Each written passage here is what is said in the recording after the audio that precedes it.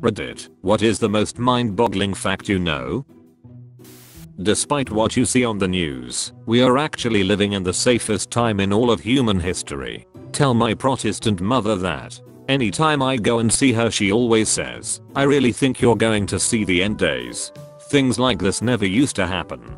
People in all times have fervently believed that the end days are just around the corner.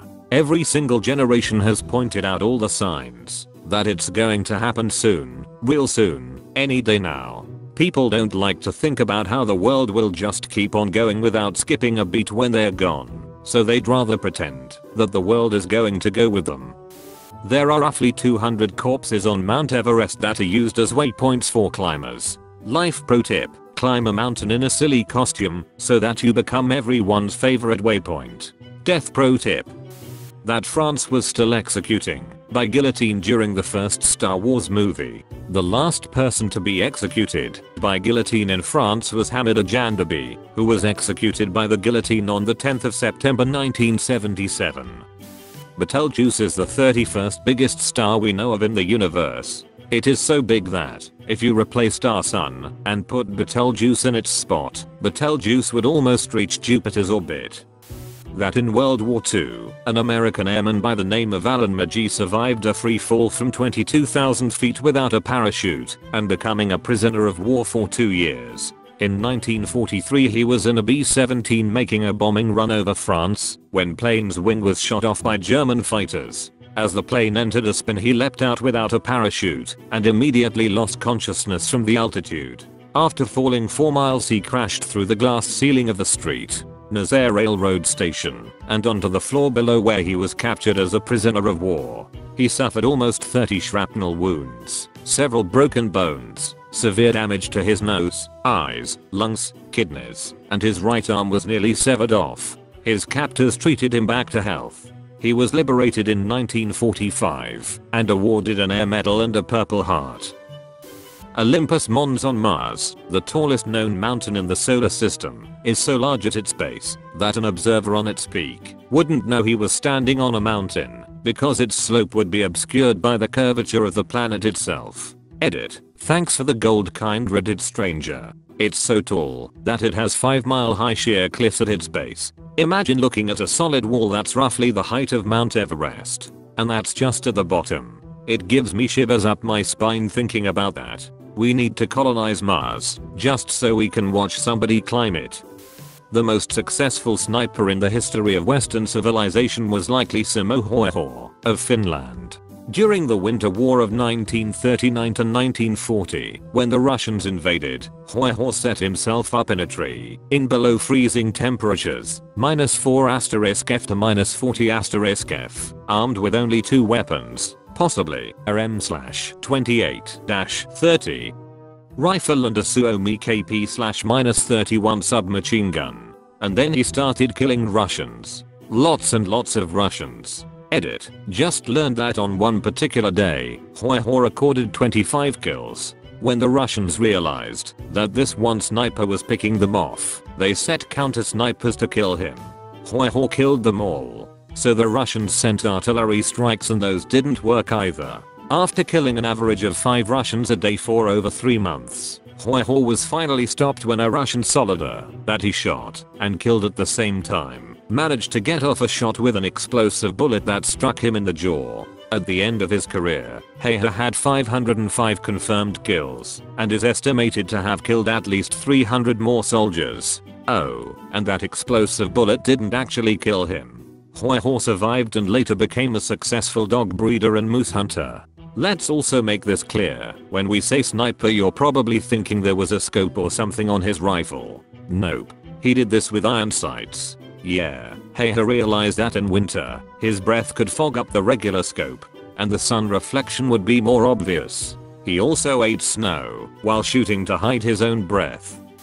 The longest piece of literature in the English language is 3.5 million words long and counting, is written by a 21 year old guy in Arizona and is a fan fiction of Super Smash Bros. Brawl. Edit, apparently, now it has over 4 million words. The swimming pool on board the Titanic is still full. The placebo effect can still happen when you know you're taking a placebo. If you believe that placebo effect is some kind of magical phenomena that will happen no matter what, it will happen no matter what. So in a way you experience placebo placebo. When I was young a friend told me that thinking of elephants stopped you from sneezing. I believed him, and 10 years later I'm still avoiding sneezing by thinking of elephants. He was clearly lying, because this doesn't work for anyone but me. But even with the knowledge it's complete BS, it works. Truly amazing. If anything it makes me kind of sad that everyone I tell it to doesn't truly believe me. There are more atoms in a teaspoon of water than there are teaspoons of water in the Atlantic. School buses used to be orange before they changed them to yellow for visibility. US Coast Guard helicopters used to be yellow before they changed them to orange for visibility. How many Coast Guard helicopters were mistaken for school buses before they made the change? Jimmy, why were you late for school? I was accidentally drafted into the Coast Guard. Giraffes and humans possess the same amount of neck bones, the same. In the mid 1880s aluminum was more valuable than gold, now we use it expendably to wrap food. Fun side fact, it was used to cap the top of the Washington Monument due to its initial value at the time.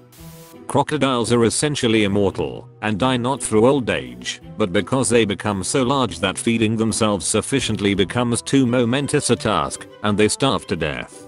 Slash r slash Chrysides get a pet croc then continually and carefully feed it forever to see how big it gets. Edit. Lake Placid was a movie. Got it. Cries. The largest crocodile ever caught was 8.63 meters long, 28 foot 4 inches. There is a life-size statue of him in Normanton. His jaw is about the size of a fully grown man. That is a truly scary creature. T-Rexes lived closer to a live Miley Cyrus concert than they did to a Stegosaurus. Male Irish mummies are often found with nipple mutilations leading many experts to believe Irish leaders may have worn nipple rings, as kissing a king's nipple was believed to be a sign of respect. Male Irish mummies. They are called daddies. That humans almost went extinct 75,000 years ago. Total population drop into around 15,000 destroying much of our genetic diversity. Eels actually have two jaws. The first being like a normal jaw, the second being hidden in their throat. The secondary jaw lunges forward when the eel bites down on prey, bites down on the piece within the mouth and bites a chunk out of it, pulling it down the throat. Think about the alien in the movie Alien. The secondary mini mouth they use is based off an eel's anatomy. When the jaws open wide and there's more jaws inside, that's a moray. When you speak inside your mind small muscles in your throat mimic the formation of each word. This is called subvocalization and a couple people, maybe NASA or Russ military, are actually trying to build a machine that would detect the muscle movements and transcribe them to words. I believe they already have a very basic prototype. So in a few decades maybe we'll be able to read minds. Edit. This is not necessarily a bad thing. Such a machine could help millions of people. Here is the article.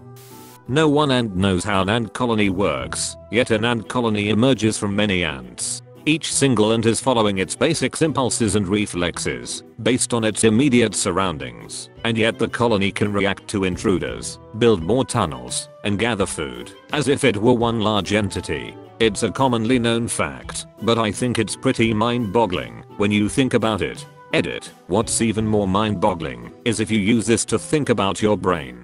Your neurons are the ants and your brain is the ant colony. Each neuron can receive electrical input from any number of other neurons firing. If the amount of input crosses a threshold unique to each neuron, it itself fires. This electrical impulse then travels to any number of other neurons, and the same process occurs in each of them. This is how your brain works. From this simple process emerges complex thought. You are not the neurons in your brain, you are the extremely complex colony of neurons that emerges. Each neuron is utterly meaningless, but from this meaninglessness forms meaning. All the amazing things your brain can do. Edit 2. For further reading I recommend Gödel Bork, An Eternal Golden Braid, Chapter 11, by Douglas Hofstadter, and the preceding section, Ant Fugue, Today I learned ants just do random ant stuff all day and everything works out super good for them. If you were being sucked into a black hole and could somehow stop, turn around and look back out into space you could see the whole fate of the universe play out before your eyes due to time dilation. You could watch the birth and death of stars in the blink of an eye. It would be quite a light show. That despite what they might have you believe, literally no one has ever had their mind blown by a BuzzFeed article.